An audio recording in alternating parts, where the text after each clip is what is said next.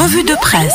مازال الحديث على التدخل العسكري في ليبيا. الموضوع الأهم والأبرز في مختلف المنابر واللي يتصدر الصحف التونسية خاصة الموقف الرسمي التونسي والجزائري الرافض لتدخل عسكري في ليبيا. في La Presse تقرأ اليوم في الصفحة خمسة. Tunisie Algérie à une intervention militaire en Libye. تونس الجزائر لا لتدخل عسكري في ليبيا. الصريح كتبت في الصفحة أربعة تونس والجزائر تقطعان الطريق على التدخل العسكري في ليبيا حرب قد لا تقع. هذايا بعد الزيارة اللي أداها وزير الشؤون الخارجية التونسي خميس الجهيناوي للجزائر واللقاء اللي جمعوا بنظيره الجزائري رمضان العمامرة. الوزراء الزوز أكدوا على رفضهم لتدخل عسكري في ليبيا وعلى ضرورة تقديم الحل السياسي ودفع الليبيين لإيجاد حل لقضيتهم والإسراع بتكوين حكومة وفاق وطني. وهذا اللي صار البارح في الليل في ساعة متأخرة. إعلان المتحدث باسم المجلس الرئاسي الليبي فتحي المجبري على أنه تم الاتفاق على تشكيل حكومة وفاق وطني في ليبيا تتكون من 13 وزير بينهم ثلاثة سيدات. حدث مهم إن شاء الله يساهم في استقرار الأوضاع في ليبيا وإيجاد حلول لكل المشاكل السياسية. بعيد خليني نقول على أي تدخل عسكري أجنبي ينجم يؤدي آه، لحالة كبيرة من الفوضى وعدم الاستقرار والدمار في المنطقة واللي أكيد باش تكون عندها تداعيات على تونس وعلى الجزائر وعلى ليبيا وغيره من البلدان تاع المنطقة هذه. البيان كتبت تونس تستعد لتدخل عسكري محتمل في ليبيا آه، استنفار على كل الواجهات.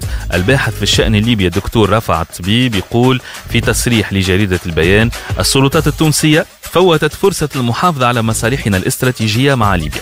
موضوع آه، خصت له جريدة البيان الصفحتين 8 و9 نستدعاكم باش تقراوا المقالين. في نفس الإطار جريدة الشروق كتبت في صفحتها 8 تطاوين ومدنين تستعدان للحرب في ليبيا. استيعاب 20 ألف لاجئ ومخاوف من تسلل الإرهابيين الشروق حاولت مواكبة الأجواء في المدن والمناطق الحدودية مع ليبيا في ولاية تطاوين وولاية مدنين اللي تعرف الأيام الأخيرة هذه حركية كبيرة واستعدادات آه، حثيثة لتدفق عدد كبير من اللاجئين في صورة تدخل عسكري في ليبيا. البارح كان ثم اجتماع لمنظمات إنسانية وللهلال الأحمر في الولايتين الزوز لاتخاذ الإجراءات اللازمة. أحنا نقول إن شاء الله ربي قد الخير وإن شاء الله ربي يستر ليبيا ويستر بلادنا وتتعدى هالحكاية على خير. نختم اليوم معرض الصحافة بمقال تقرأوه في site صباح نيوز. الموقع الإلكتروني صباح نيوز. بعيد على ليبيا بعيد على السياسة موضوع يهم الشباب والشياب والناس الكل برشا. حتى الصغار الحقيقة المغرومين بال Planet Win؟ وغيرها؟ في أريانا القبض على شخص يتعاطى لعبة ال Planet Win؟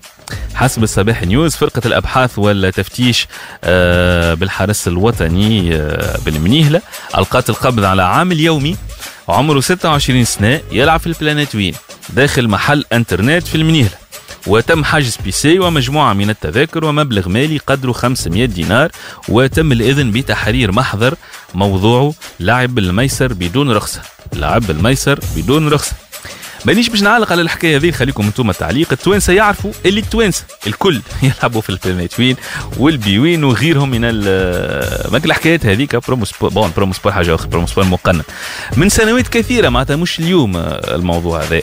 ما نعرفش علاش اليوم فاقوا بالحكايه ال Planet Win وشدوا الراجل. إذا هذا ممنوع قانونا donc يلزم تقف الحكاية هذه ويلزم تشوفوا حل وتنظموا الأمور تنظموا القطاع. برشا حوانت محلولة justement برشا حوانت محلولة وقاعده تسترزق من الموضوع هذا.